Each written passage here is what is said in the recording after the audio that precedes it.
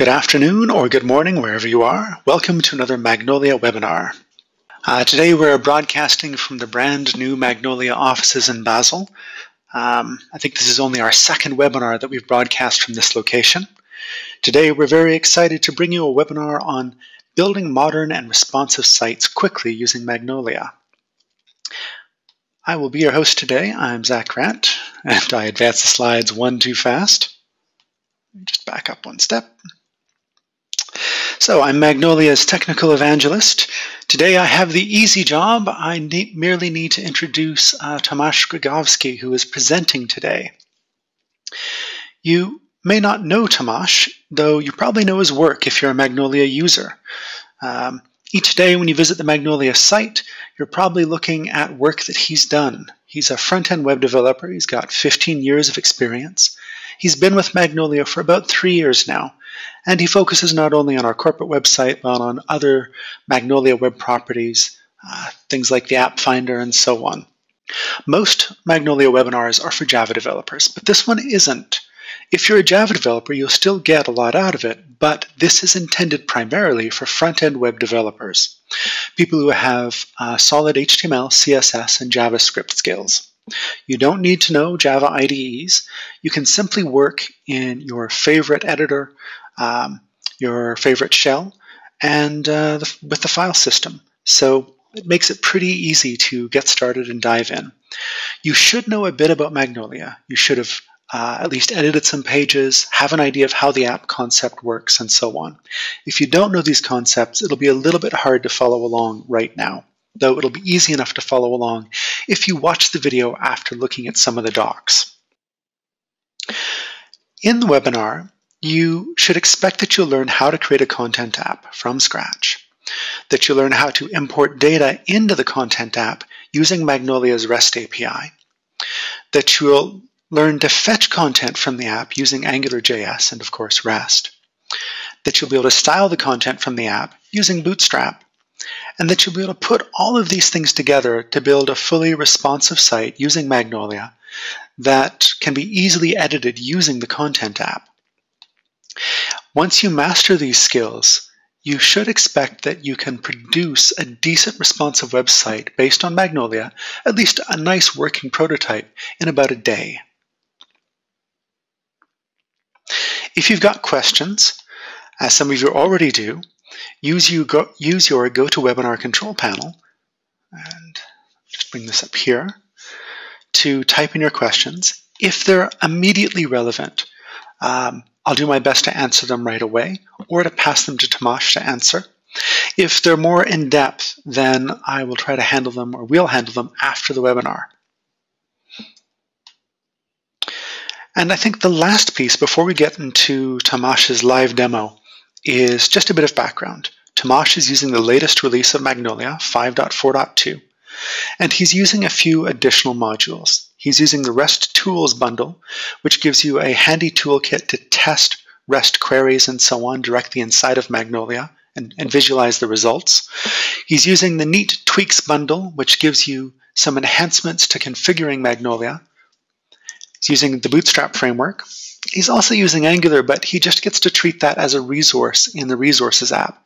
So it's not even really a requirement. It's very, very easy to add.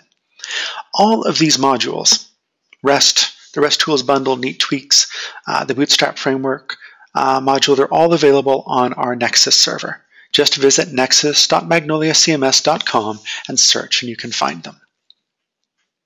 And with that, I am going to pass the screen over to Tomas.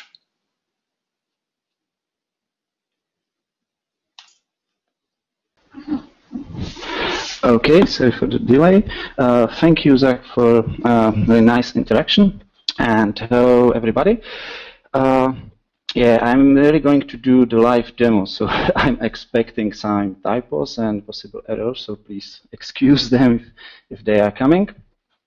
But other than that, let's start.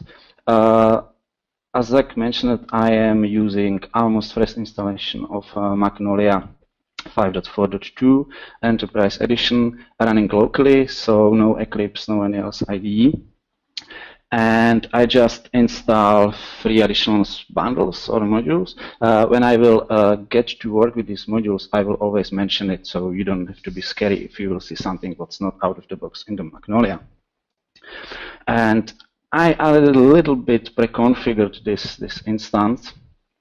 Uh, and again, I will uh, every time mention what I already pre-configured and why.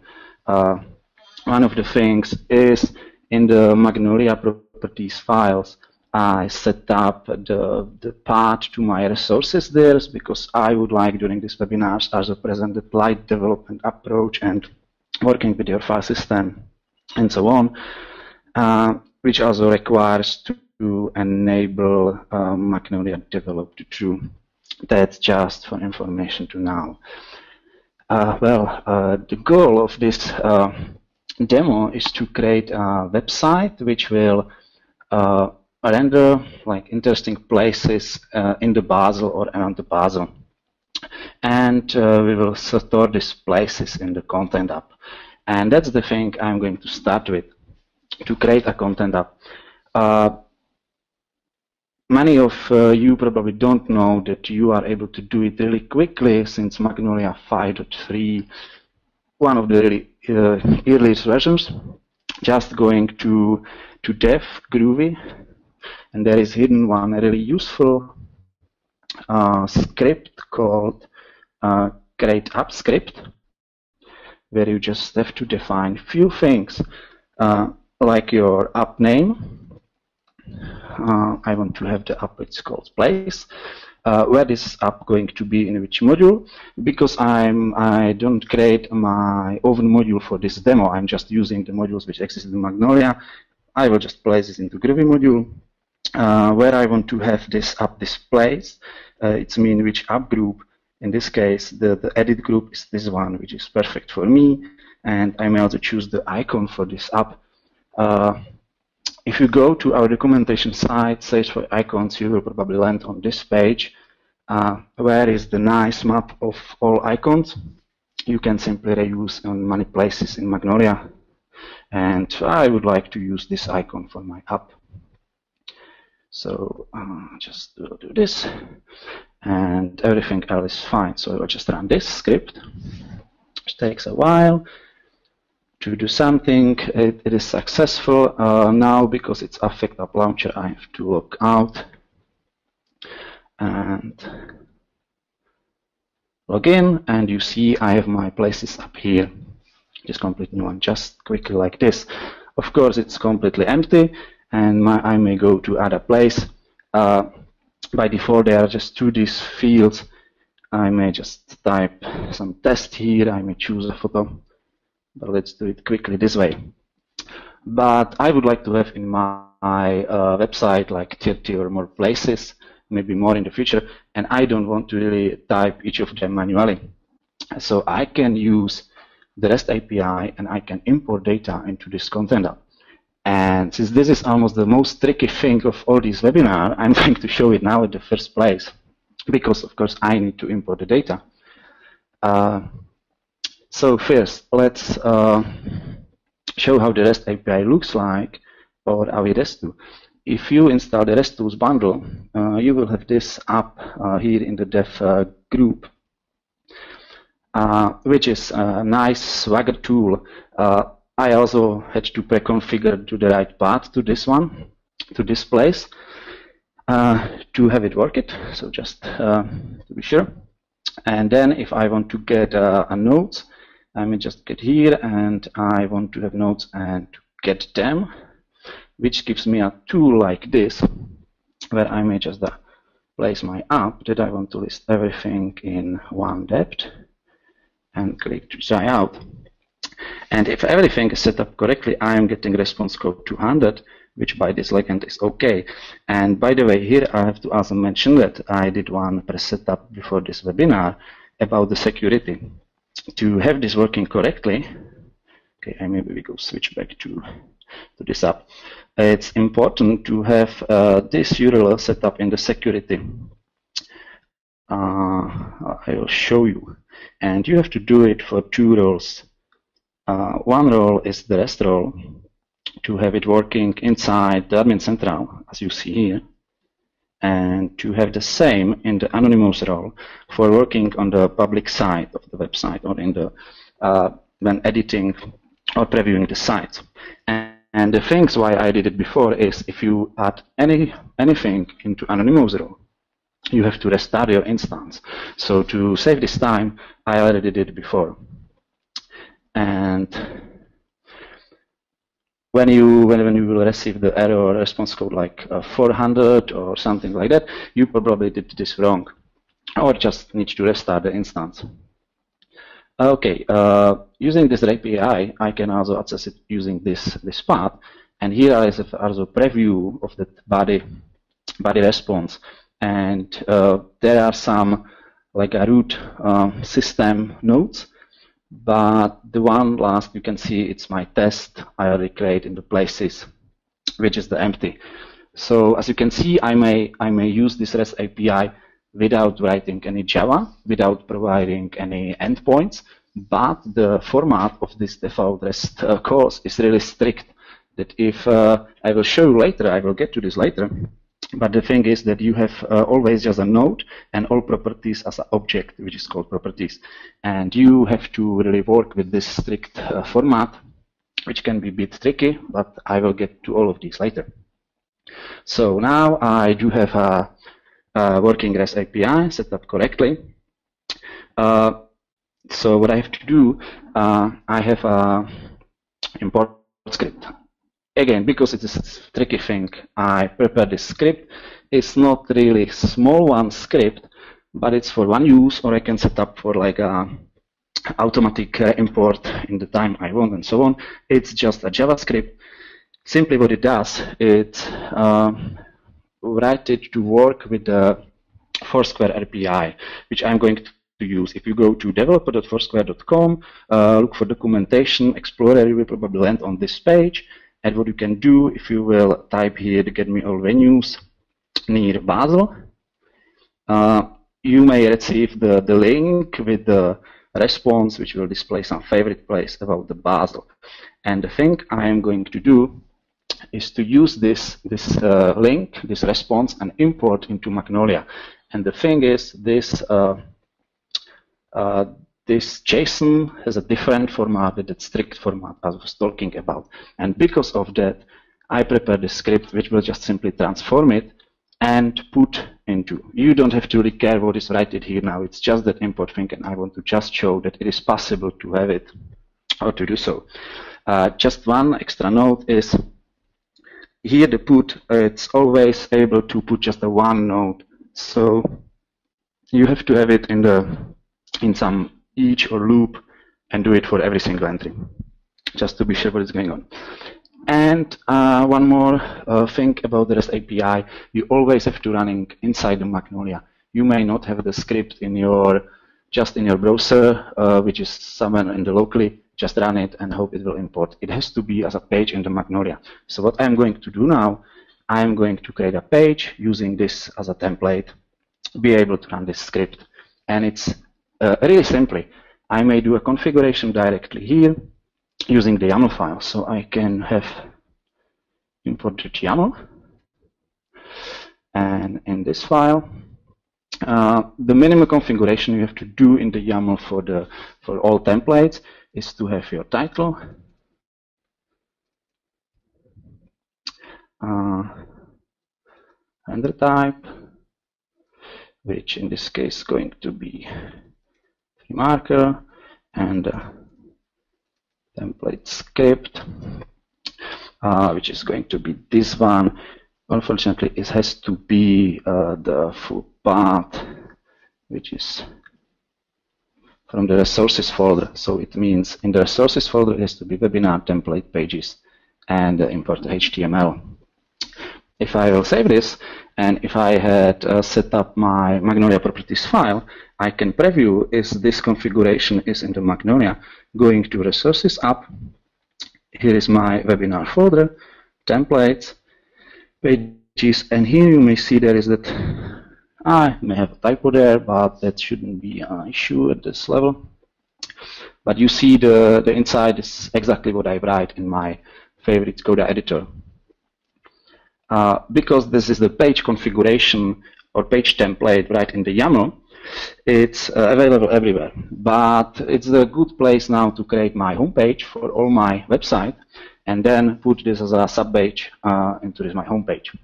And now I will a little bit step uh, away and go back into it in a few minutes because it's time to show you basic about the Bootstrap framework, uh, which is one of the modules I installed and which gives me default Bootstrap styles, uh, responsivity, other things I can modify, uh, nice working with the layout, uh, some basic components and so on. I can show you in this Bootstrap framework demo just quickly. If you go there, and if you want to use it, I recommend to go through because all these five sub pages are made as a how to use it. So you may read all the things, or not the all, but many of the things you may do with this module are described here. How to work with the page layout. It's already made in it, so if you go there, you see this page defense, everything. And the last thing is if you want to start your project based on this uh, Bootstrap framework module, what you have to do. And it's simply just go to multi-site and extend this Bootstrap framework. And that's what I'm going to do now. And I'm going to do it in the need to tweak configuration. It's configuration app, which is a little bit improved from the standard uh, standard configuration app. And I will use this feature many times during this, this demo. As you can see, here is a little bit more things. One of them are the bookmarks here on the bottom. Whatever you want, you may do add as the bookmark and then just quickly go there. Uh, by default, there is a bookmark to multi-site, and that's exactly the place where I want to go now. And as I said, I want to extend this Bootstrap framework. So I may use uh, this thing. Um,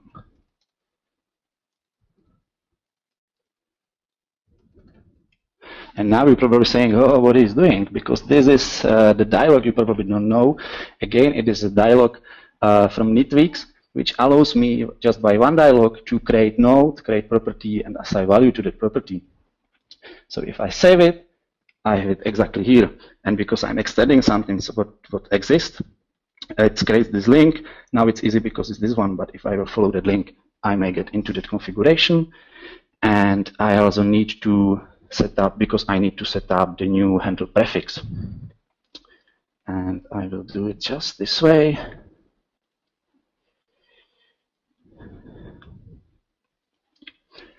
My page is going to be webinar. Yeah, webinar. And that's probably all. Now I have set up my, uh, or I should have set up my uh, multi-site definition. So if I will go to page, create new page, which is going to be webinar.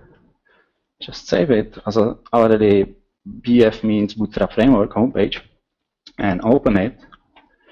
To having this uh, the black navigation and white body, I'm immediately recognizing that it's applying the Bootstrap styles, the default ones. So that means I already set up everything correct. So I have my homepage, and now in this homepage, I want to add a page and as you can see, I already have here that import page I did create it five minutes before. And I'm going to work with it. So it's going to be import page. The, the thing is, uh, if you create your page definition using the YAML, you have it uh, available everywhere. So you don't have to care about availability now. So I have this page. If I open this page, it's uh, now it's asking me for that Foursquare uh, JSON so let's go here. I will take this. This is like a really custom part, but it just has to demonstrate it's possible to do with Magnolia. This is the preview of the, of the strings, which is friendly with the Magnolia REST API, and it also tells me, says me that the 30 places was imported. if I go to my places app, here we go. I have imported like 30 places. Of course, if I will go to edit any single of them, like a cargo bar, which is our favorite bar from the old Magnolia office location, unfortunately, I have only place name and still the, the photo. But if I export the data, there is much more thing inside. There is like a contact phone, there is a location address, and, much more thing. So let's go to just quickly edit the dialog to be able to edit this uh, these fields as well. So it's in the net configuration again. Uh, modules, I created this app in the Groovy module, if you remember. Uh, there is a places app there is a detail editor form. Uh, even this is up. This part is the exactly same uh, as if you uh, working with the dialog for your component uh, or whatever. You may see there is a form. There are the tabs, the tab place, and this tab place is the fields. Which one is the name? One is the file upload, which we have now. Okay, I'm not going to use that file thing now and I may add uh, as many fields as I want. Again, let's go to Neat Tweaks, which allows me to add a field just using the dialog. I will just put the field name, field label, and choose that this is, this is a text field definition. And let's just do same for a few more things like a location address.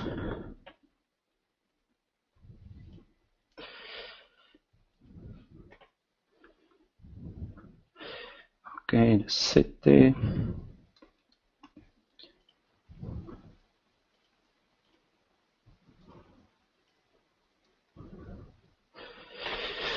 Uh, anything more interesting here? Yeah, the title, of course. Uh, the difference between name here, that's the real name, which is like uh, skipping uh, spaces with replacing with the dashes and some special characters, but I want to be able to edit both of them. So the title is the like the nice one I want to have. Text field definition and maybe the last one, the, the URL. So the field.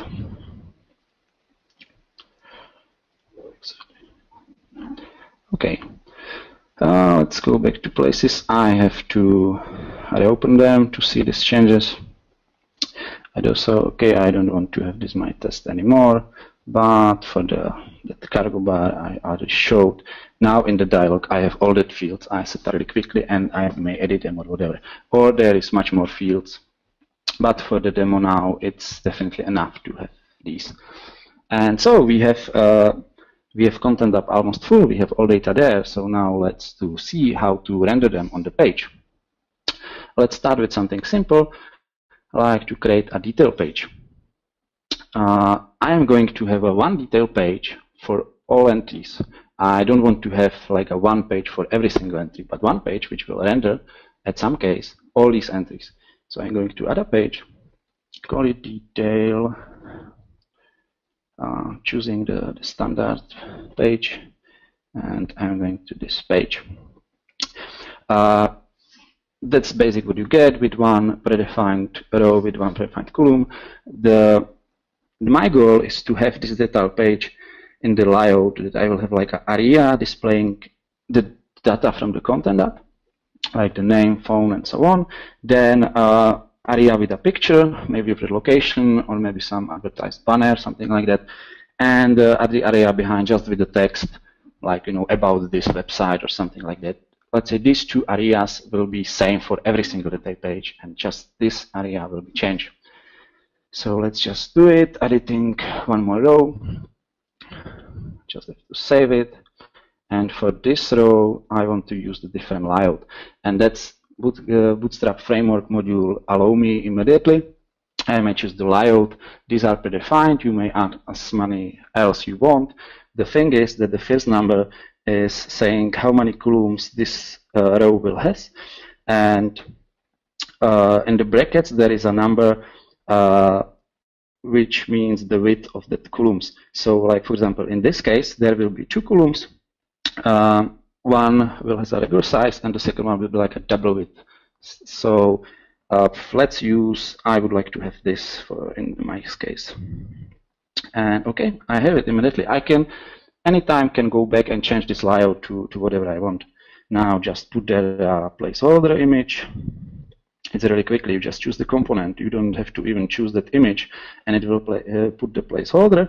And you can anytime go back and replace this placeholder with the image you really want. And here in this, I want to have that text.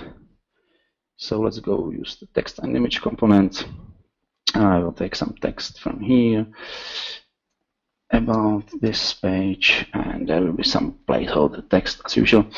Uh, because this is a text and image component uh, and you don't want to have image here, you have to say in the layout no image. Otherwise, this component will also have like one placeholder waiting for the replacing by the official image later. So this is my layout, and now I need to display the data here. Uh, for this, I need a new component. Uh, let's go to create a new component. Here I'm going to create a new file. One is going to be detail.ftl, just to be do it in small steps. So let's render like it works first, and do the again the YAML for the setup this component. Uh, usually I do prefer still use the con JCR configuration, but for this demo I think it's nice to present how easily it can be just using the YAML files. So YAML. Okay, let's help a little bit. Just oh no, this here, and it's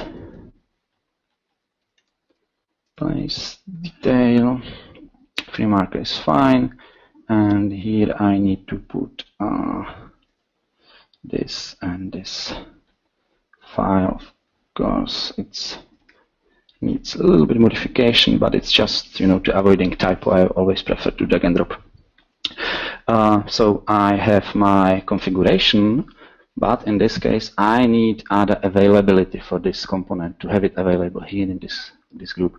Uh, also one uh, handy thing in, in uh, if you have selected any components and you are as a super user, you have here option to go to the templates definition, which immediately brings me to configuration to exact this component, which was exactly I was in.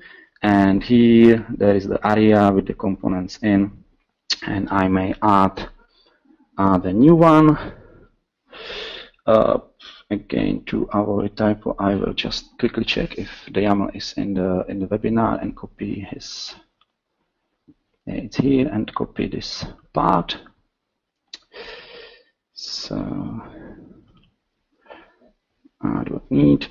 I would like to have a detail with ID and I need to modify this a little bit to looks like webinar and no Yamato and the save. And that's it. If I will close it and reload this page to see the changes, go to this one, I have available this my please detail component. So just add it and it works, but that's not what I want to have here.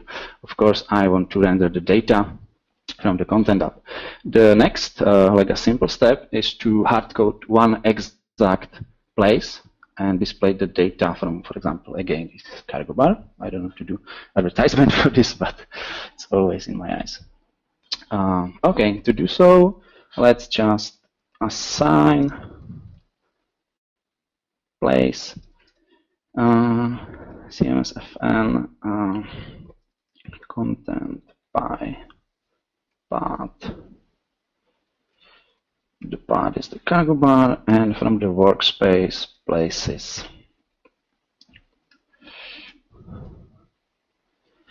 Uh, place dot name. If I'm doing like a step by step, I always prefer to render this at name at the first time because every uh, every node has this at name. It's really node name in the JCR. So if you miss or do a typo like in the title or something else, the name always exists. So just go back to that uh, page. And here I have the, the cargo bar. Okay, now let's see if it's even title is there, place dot title and do this way. If title is not exist, then display the name. Just quickly check. So yeah, that's the right without dishes. And the same way I would like to have, uh, sorry, um, few more data here like place dot okay I will get back to it later. I will just prepare like four things.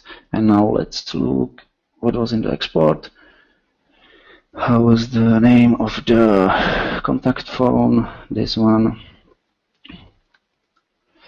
Then the location address. Okay the city. Even though all of these places are from the Basel that's another now and uh, maybe the well it's it's nice to have there in case something is not exist just do it this way. Okay and let's go to preview. Oh okay not parser nice. I said at the beginning there is always typo during the live webinars demos and so on Okay, here I have all data. As I said, it's uh, hard-coded now because I exactly say, give me the, the cargo bar. How to make this page uh, flexible? It's uh, there is uh, more options. Uh, the next thing uh, to show you the working with the URL, I'm going to preview this page exactly as on the public. It's easy trick to do it if you if you take that URL and remove this .magnolia admincentral thing, and just simply have there your path in the website which is like this, you will get the page exactly as it on the public instance. Just a small trick. So I have this cargo bar. Now, how to make this page flexible? You may use the properties in the in the URL, or what I do like more is to use the selector. Selector is something like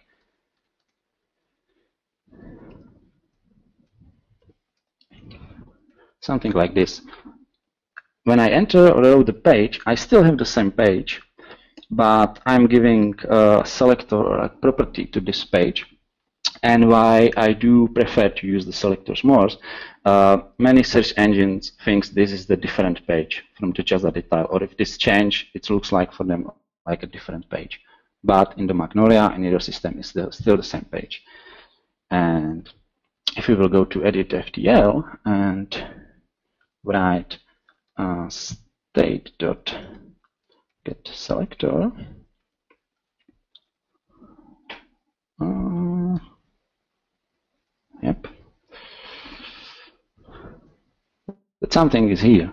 Uh, what does it mean? If I will replace that something with uh, something real, real like, well, for example, this one.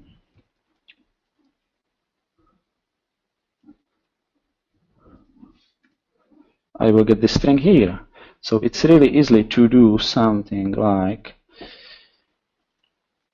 um, cargo bar and well, yeah, like this, uh, like this, yeah, and notice selectors, where I'm saying uh, everything what is in the selector put into content path behind the slash, and just in case that the selectors do not exist, put there a cargo bar just to have some like a placeholder or something to display. If I will save this, Go to page.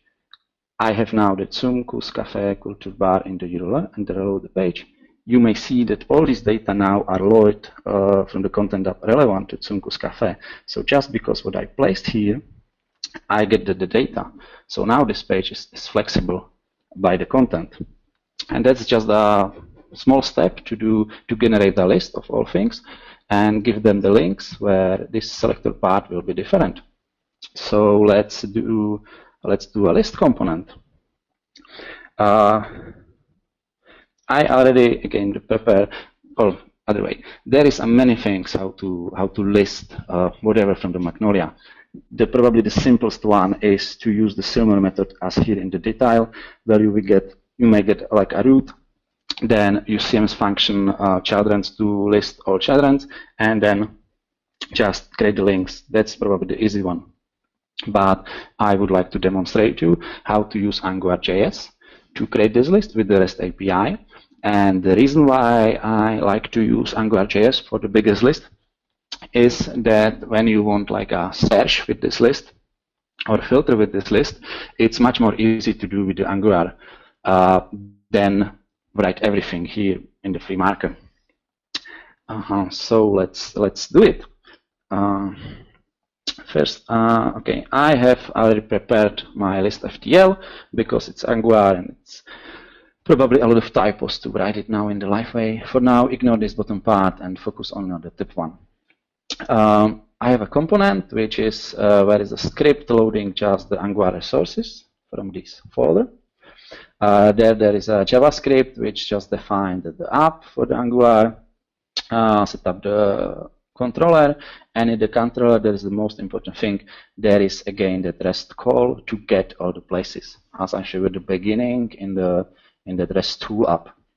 On success, it will assign to scope places the respond nodes, and then I have a HTML assigned to this model, which do uh, Angular repeat place in places and just display the names. So at the end, it should gives me the list of the, all the names. To get this into Magnolia, again, I have to write a new YAML file, uh, list.yaml. Okay, let's copy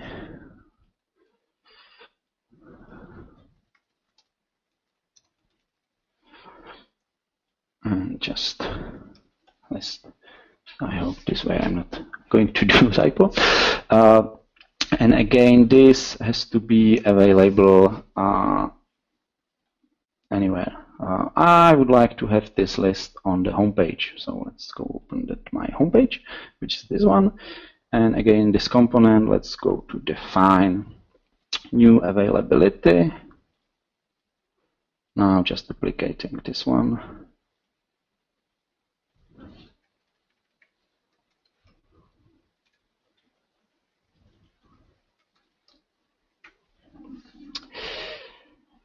go back to page, I want to see the changes.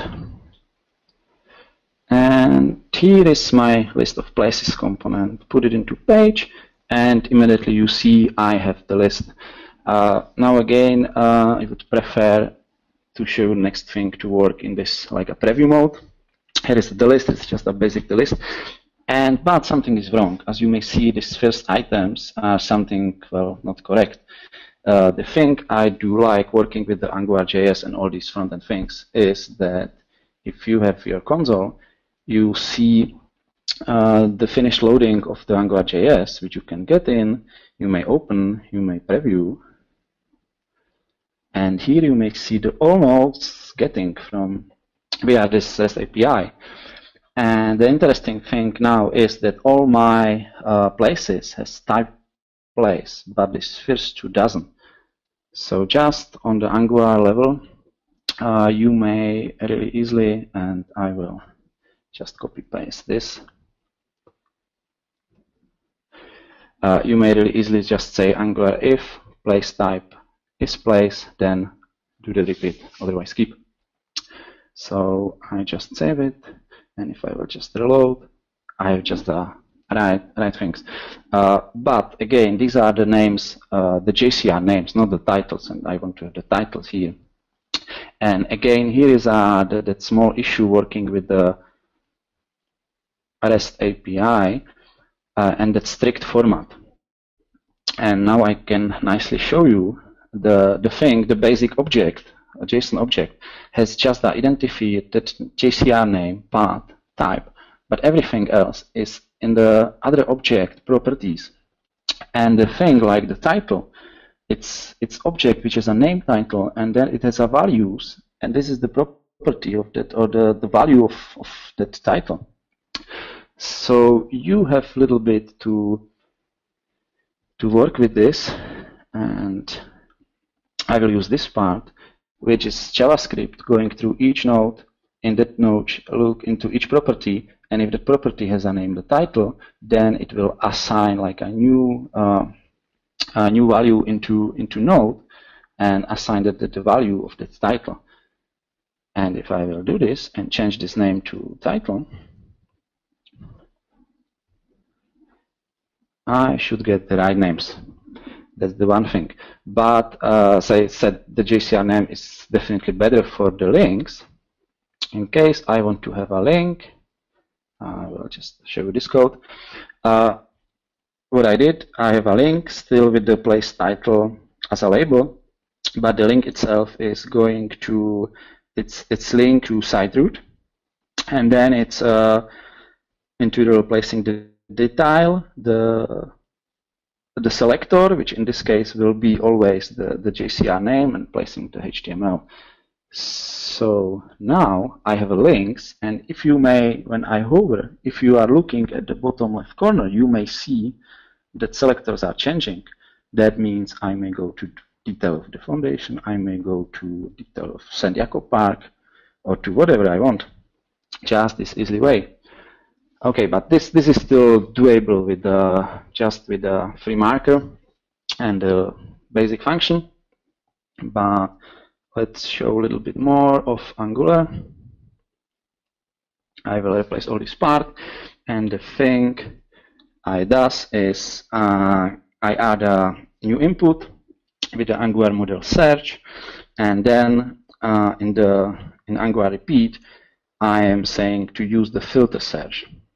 I'm also applying some bootstrap styles uh, for the columns layout, for the thumbnail. I also put the image, in this case just as a placeholder image, because I don't have yet the, the images for every single place, and the link is the same. So having this and reloading the page, I'm getting the list of, or the view of this.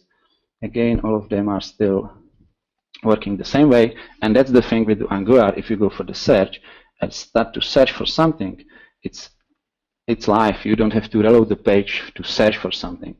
Um, and you may see just when you type something, it's it's change. So that's nice. And it's the same way you may put the, the selector options selects for the categories or some some properties and so on, and it works live. So that's that's cool, and that's the way about to use Angular. Or why do do I prefer using the Angular?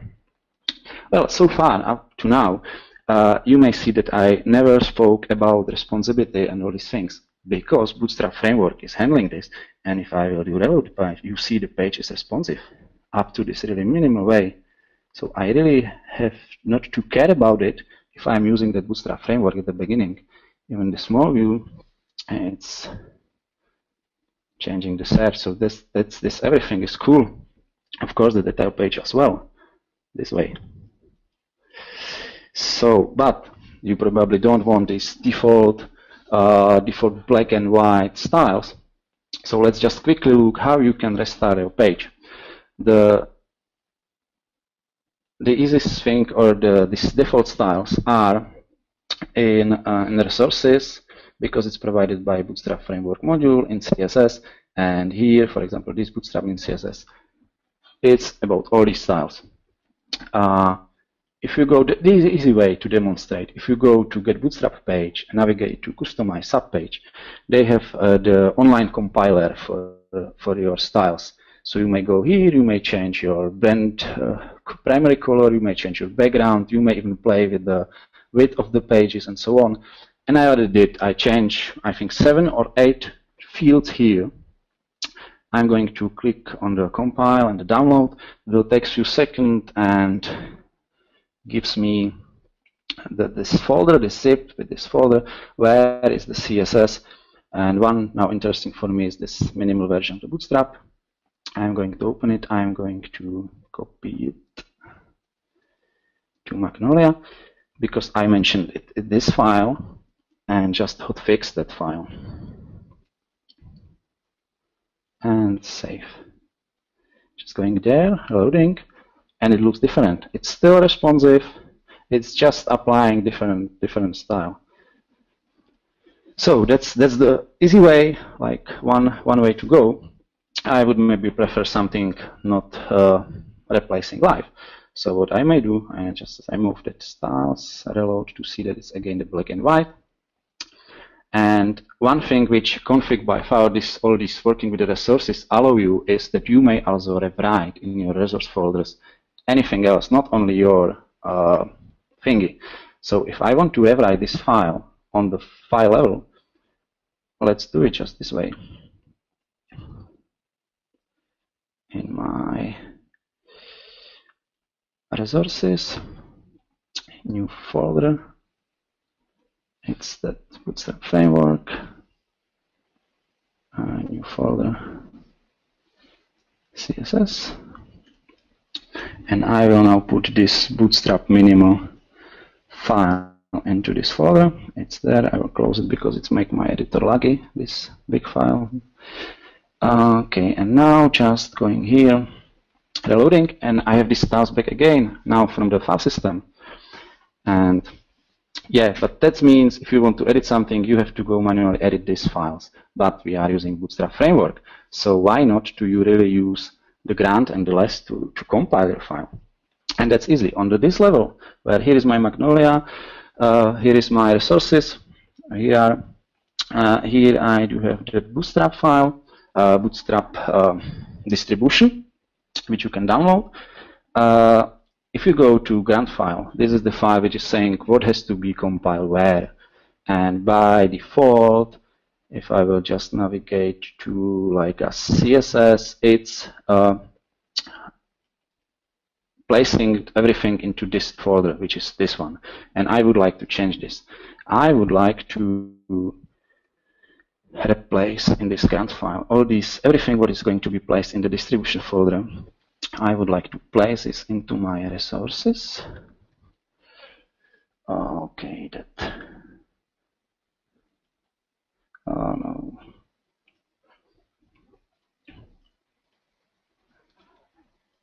bootstrap oh yes. So replace all. And I see here I save it. And that means uh, I set up everything to to be uh, compiled just here into Bootstrap framework.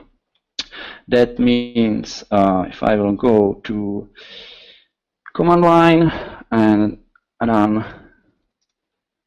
dist, which recompiles everything. And I may tell you that I spent like a one hour before this webinar to changing the less files.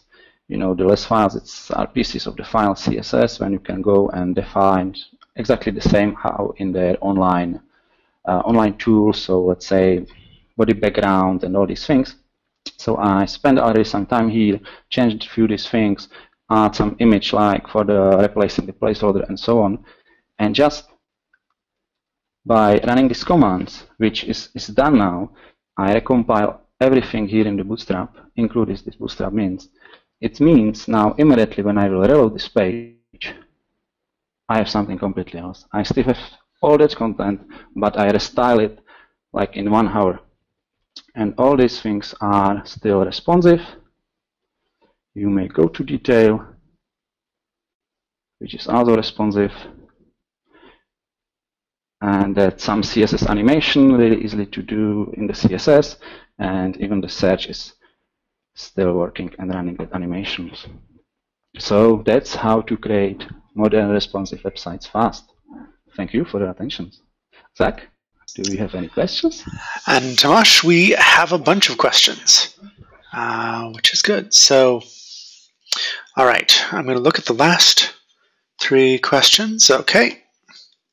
So the um, majority of questions are really about using uh, JCR configuration and YAML together. Um, why? I, I guess let's start, I think, at the beginning. And let's start by saying, why aren't we using YAML for everything right now?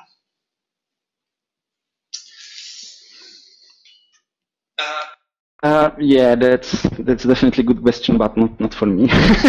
Sometimes I do have the same questions. Uh, yeah, currently in version 5.4.2, you unfortunately can't use YAML for everything, like for multi-site configuration or something like that. You may use it for your components, for your templates, for app, but I'm not so sadomasochistic to write an app in, in a YAML file because this is really like a thousand of lines. And uh, even that import functionality is not working still very well. Uh, so, but that, that's definitely going to change. Uh, I may say a few rumors, like in the version 5.4.3, you will be able to set uh, multi-site things and, and so on. So it is definitely going to change. But for now, uh, yeah, you are limited with using the YAML. Uh, but in this demo, I showed YAML um, because of all these new approach you can do. But as I said before, I always prefer do org configuration as JCR. For me, it's much more handle. If you see that Neat Tweaks, it speed up the JCR configuration, gives you a link and all these things. So in a Regulus project I'm working on, I'm not using YAMLs at all, and I'm still staying with the JCR. But I'm using that that uh, file system to keep uh, FTLs, to keep resources, even override resources of the other modules this is pretty cool, and you don't have to go to Magnolia. You may work just between your uh, uh, favorite editor and then the like a public preview of the instance, and you don't have to go to configuration if you don't want like edit dialog or really configure something. And that's something that is really cool on new 5.4 Magnolia. Okay. One other thing to mention with this, um, I'd like to remind our audience that Magnolia Templating Essentials, which is what provides the YAML configuration, is still a 0.5 release. So once it gets to 1.0, we should see a full set of the, the same features that we see in JCR. Of course, there are any number of other questions around using YAML and JCR together. The general observation from a few people is that it's confusing to know um, which is which and which to use. In particular, how do you know or how do you deal with having your configuration in two places? Okay, yeah, that's okay, okay, yeah, that's a good point. Uh, one more thing to mention also.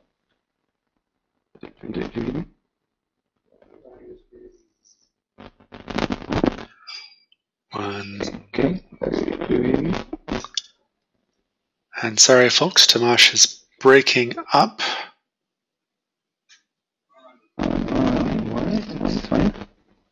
So, so give me, give me your microphone. There we go. Moment.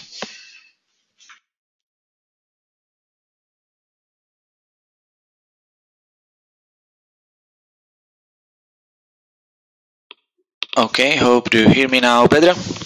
Uh, yeah, the thing is, uh, and I, I'm not using the YAML for the whole project. I may do almost all these uh, templates, uh, components, the page definitions in the YAML, but that means because in the YAML you may not extend, uh, I will have to write all these things from the beginning, or well, just take them somewhere, which means the, the home page setup, the standard page setup, that five components you was able to see uh, in the Bootstrap framework. And that's like two days three days of work. But this bootstrap framework is nice uh, like a foundation for every my project i'm using uh, which gives me this already. And the only thing what i have to do is add their availability and unfortunately i can't do this with the yaml just add piece of availability to something what existing in the jcr so in this case to speed up things to, to the higher speed I have to work with the both. But if you're starting your project, you may go only with the YAML. You may set up your availability in your page definitions in the YAML, and you may be fine just with the YAML. Uh, probably I'm so uh, so known of the Magnolia because three years working here and just know the JCR enough that I just like to work with the JCR. That's the thing why I'm doing both. And in the regular project, I will don't do the YAML configuration, so I will work just with the one. But that's my personal opinion. Now, luckily, we have this both way, and you may choose which one you like more. Oh, low-tech solutions. The low-tech solution we are currently using is we're handing my headset back and forth at the moment. Let's keep going through the questions. And also on the issue of how to mix and match JCR and YAML, um, I'm going to ask one of our devs to write a quick blog post about it. For myself, if I'm, um, I prefer to use YAML because it's easier. I'm not a Magnolia expert developer. Um, and um, if I need to override something, I tend to do it in the resources app if I need to extend something, well, then I tend to go and get help. Um, but I'll ask for a blog post to cover up some of these details. I also imagine that is one of the sharp edges that should be smoothed out as, um, as we reach the 1.0 for MTE. All right, I'm continuing. Okay, reading the questions that are coming in because they're coming in quickly.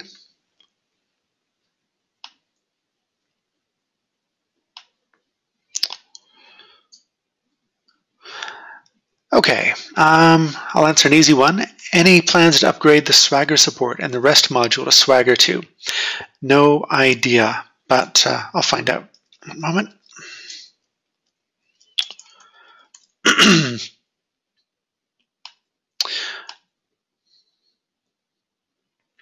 And Marvin asks, when will we spend money for good headsets for the next webinar? I don't think this is actually a headset issue.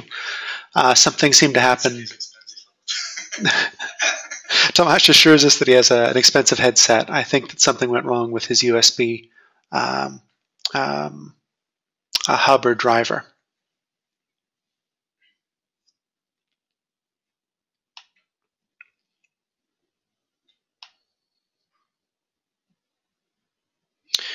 Okay, going through, and we already have an answer for one of the questions.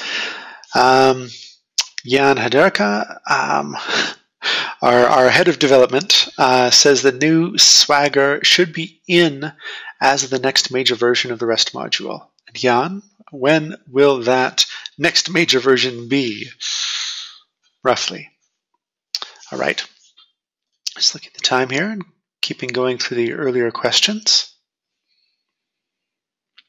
There's a specialized question about Ajax, but I'm going to punt on that for now.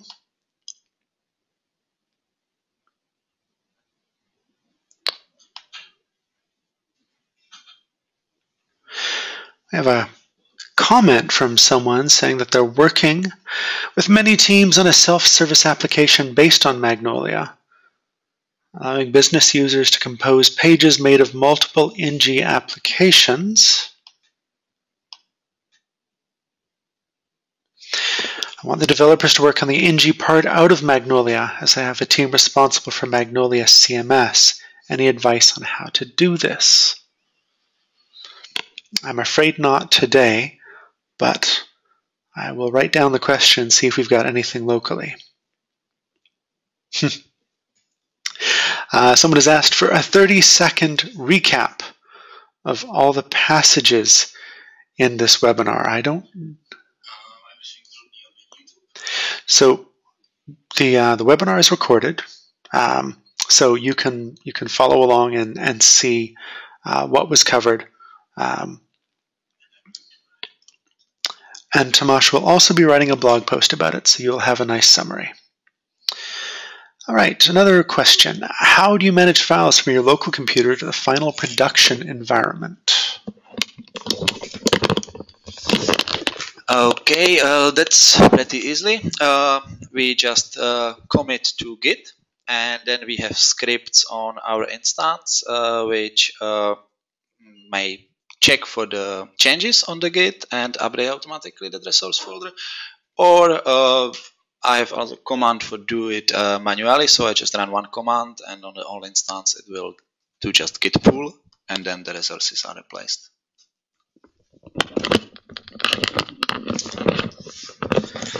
All right. Jan says that the new Swagger um, uh, should be in around Christmas or New Year. Uh, Marvin asks, where can we contribute to new blog entries or um, uh, work on webinars? And that's pretty easy, Marvin. Just drop um, anyone on the marketing team a note. Um, so uh, with all of Magnolia, it's pretty much first name, period, last name. So since I'm the one here right now, I'll just put in my address. We're always happy for ideas. We're happy to work with people on webinars and so on. Uh, and with the new blogging platform, we're happy to have guest posts.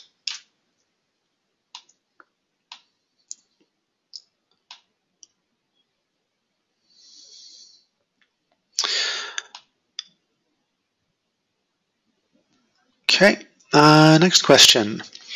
Uh, when will uh, the 0.8 release of the travel demo be out publicly, possibly with text and image configured? I think I think we'll just wait for Jan to answer this in the background. Yeah. As as Tomas points out, we're not neither of us are on the product team, so some of these we'll have to wait for Jan to answer. Um, the question is, will demo content, the Bootstrap demo, be available like the Hello Magnolia demo? It actually is. If you download that module, then the content is included. All the demo content is already in there, so you can start working with it right away.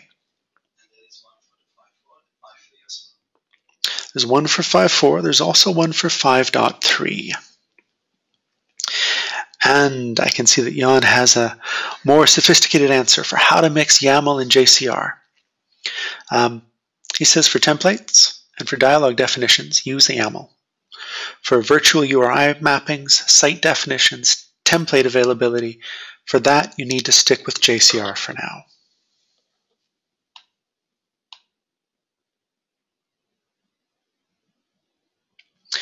Okay, next question.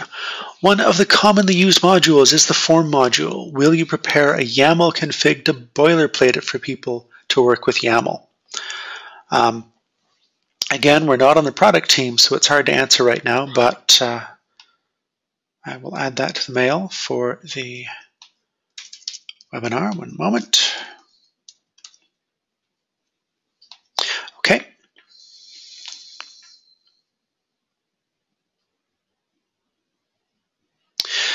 Uh, Jan comments, and, and really, we should just have Jan dial in. Let's see what he thinks of that when he writes his next uh, next comment. So Jan says, for writing apps in YAML, feel free to do that already. His personal experience is that when you need to maintain them later, without the extends feature, it gets too complicated. He says, well, too complicated for me, might be okay for you. Actually, I would say if Jan says it's too complicated in Magnolia, you should never, never try it. Um, Brian Lewis says, can you repeat that again? But Brian, it's difficult for me to know which exact piece you would like repeated. Perhaps it's best to follow along with the YouTube video later.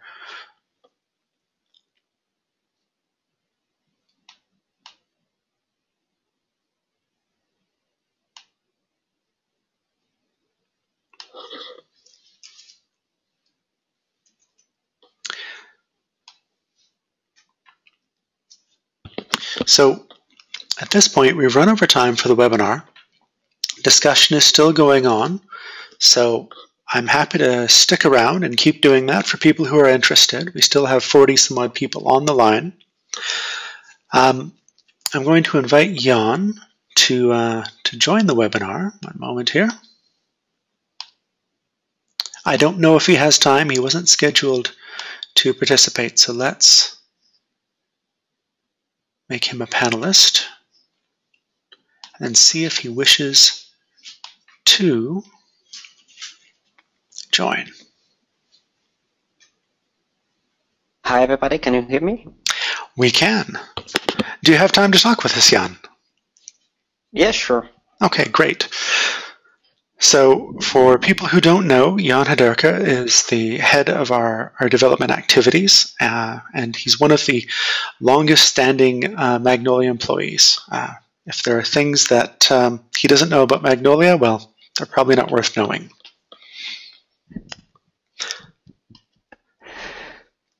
Thanks. I can. I hope I can stand up to that hyped intro.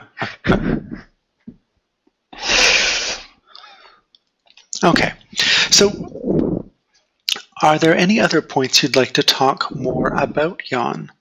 Um, I believe there was one or two more questions which were not answered or where you said you will need more input. So maybe if you go through them, I'll try to answer. maybe there are a few more. Will do. I'm running through the list of open questions, and I am cursing the GoToWebinar question panel. There was a question about working with NG applications. I think we probably should punt on that, uh, or not try and address it right now, unless you feel comfortable, Tomas. Okay, let's keep going through. Uh, there was a question about how would we link from a dialog YAML file to our custom app.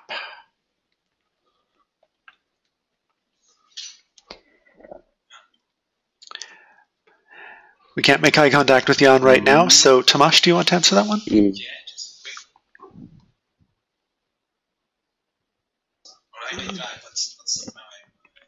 Maybe we'll see if.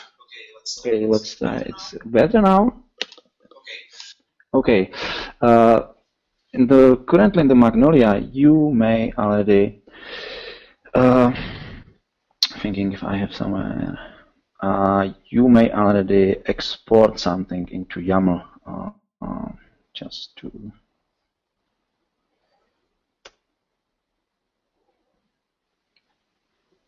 Not in the tweaks. Uh, yeah, right. Yeah. Uh, so. Um,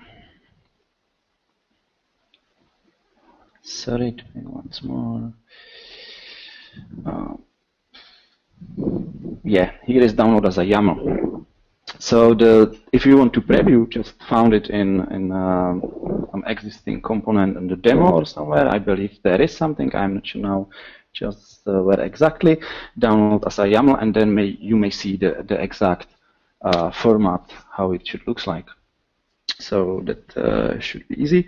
But otherwise, it's exactly same how in the in the JCR. So you just uh, set uh, the question was to categorization or to content app. I think the question was if you create a dialog in YAML, whether you can use it in the app. Ah, And sorry. the So, thing, if, if yeah, if you open one of the uh, action definitions in the app itself for opening the edit dialogs, That was now new. yeah, that was a new. Tomasz, please, yes. If you go to apps actions, no, no, no, no, no. two no, apps, apps, ah, sorry. apps, yeah, that sub apps, browser, actions, and I don't know, edit property or add property, yeah, that one. So here, when you specify the dialog name, that dialog can exist already in YAML. That's just as it is, so you don't need to do anything special for it. Magnolia will pick it up. If you want to define the dialog in YAML for the details app when you are editing details of some of the content, that's currently not possible. It shouldn't be too difficult to tell the presenter to actually open it, but right now out of the box that's not possible.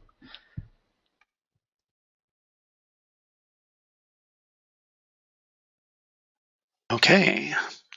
I'm continuing to go through the questions.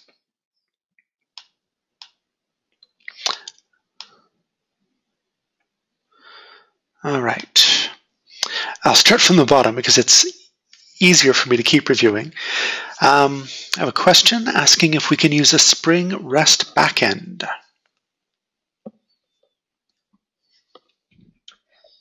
Use it for what? Yes, you can use Spring REST, for example, via Blossom, or you can have the jars added in Magnolia, and from your code you can call it to uh, get the rest or create the endpoints. But yeah, the, the question is too generic. But there is no nothing limiting you from using it. But Magnolia also doesn't provide too much for making it easier for you to use. And that question is probably best answered by the developer who works on uh, on our Spring integration. If you post to the forum, uh, the Magnolia forums, that might be the best way to get a, a, a response. You can share more details at that time as well.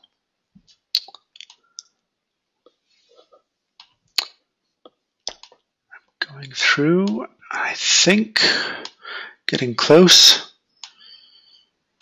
to the end of the potential questions. So I think this leaves us with one interesting point for discussion.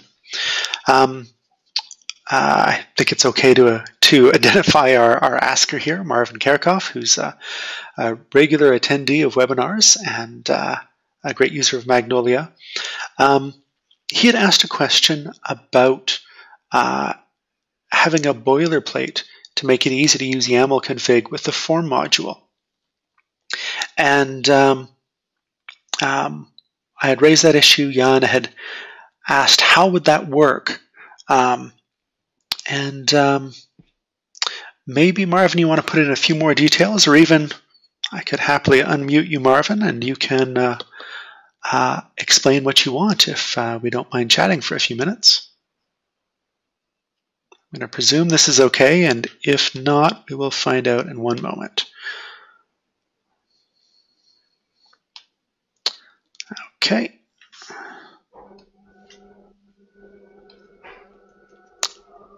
Marvin,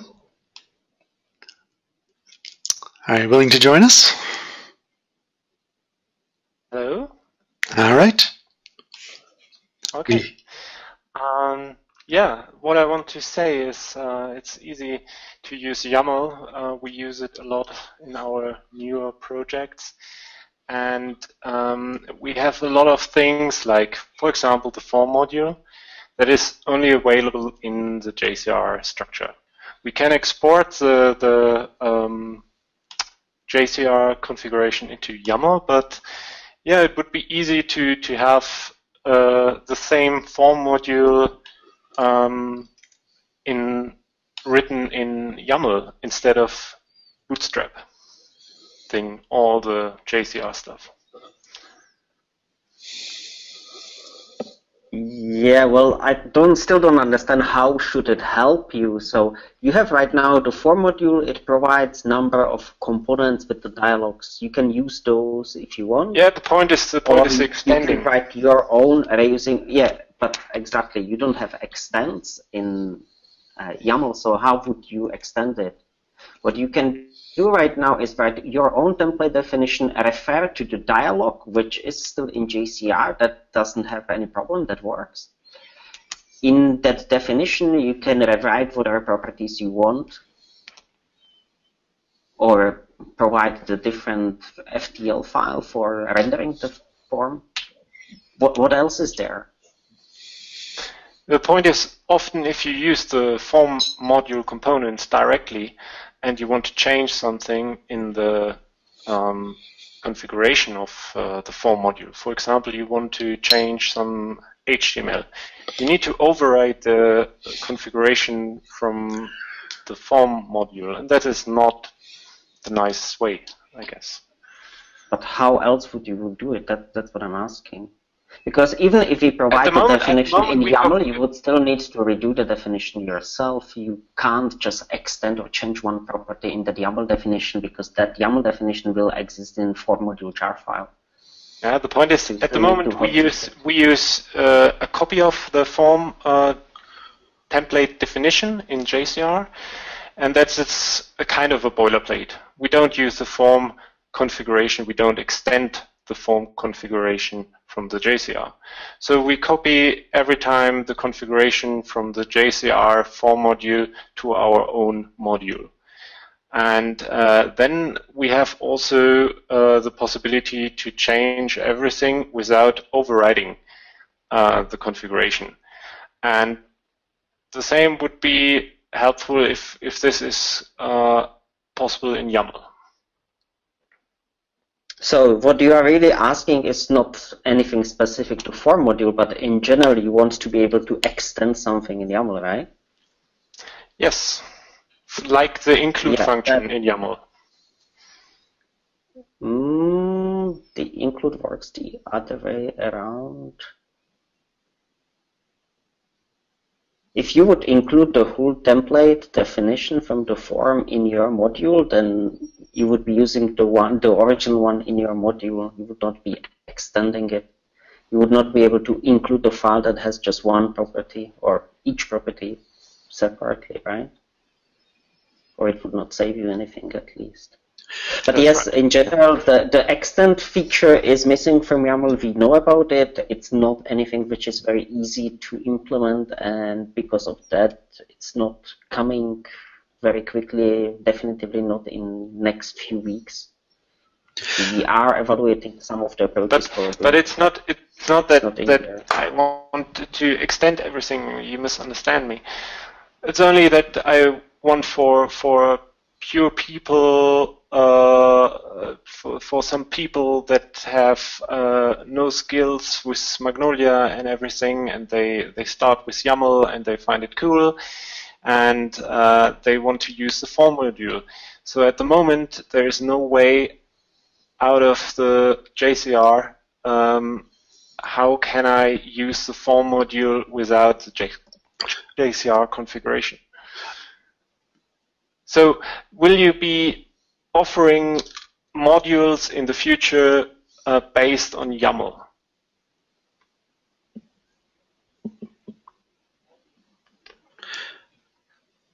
So I'm going I'm, to. I'm still not, not getting what, what you're not able to use there. As Tomáš pointed out, you can download the definition as a YAML if you want to edit it. You anyway need to do that Uh, no, if I may get in just quickly, I probably get it.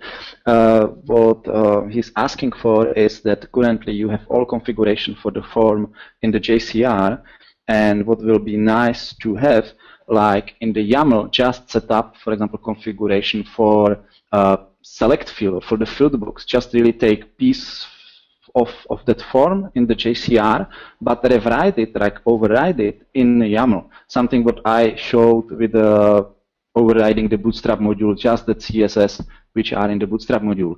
I see that point. So Jan, if you if you get it now. And Marvin, did we get it? Yes, uh, Tomáš did get it. Yeah, that's the point. I don't see how that could be working without having the extends. You don't need the extending process. Forget the extending process. Okay, we may get to it later on together and then we may maybe contact Marcus yeah. privately. Yeah, I think probably the best thing to do is get an example, perhaps, Marvin, of exactly what this might look like, and then make sure that we're all sort of looking at the same thing and we know what we're trying to do. Um, and I see comments of someone is excited about this question and they can be copied. Okay. Um, we'll figure out some way to do that. Before we wrap up, are there any other questions? I see we've dwindled down to 25 eager listeners. Um, are there any specific questions on the direct topic of the webinar? I'll let people think about that for a minute. And I'll ask you to think about a few other things as well. Um, first, Marvin, it's, I'm really glad you participated, and I'm really excited to hear that you're already using the YAML functionality a good amount. I'd love to hear more about that. I think most of us would. Um, I'd like to know what other webinar topics you want to hear about, um, especially on the light development topics. Uh, these webinars are pretty well attended. I think this was the most registrations we've ever had for a webinar. And um, let's see if we can keep that interest and attendance up. Um, and if you've got some interesting cases around YAML that you'd like to share, perhaps just drop us a note. Um, you can post on the forums to share them. You can write to me. I shared my email as the, as the answer to one of the questions. It's just zak.greant at magnoliacms.com. I'm easy to find and just let us know what's going on. Yeah, maybe I have a proposal. Mm-hmm. Um, we can show a use case where we have a full integrated um, possibility to use Node.js gulp tasks inside a Magnolia installation without an extended or an external um, node installation. So mm-hmm. you can, you can use thus less what you want inside your Magnolia module without anything installing. Neat. I think we'd love to talk to uh, uh, about doing a webinar on that. Um, um, off-topic struts titles integration. I think we'll we'll take that to some other forum. Um, unless another question jumps in in the next minute, then we'll wrap things up. Marvin, I'll be in touch. Thanks. Jan, thanks for parachuting in and answering a bunch of questions.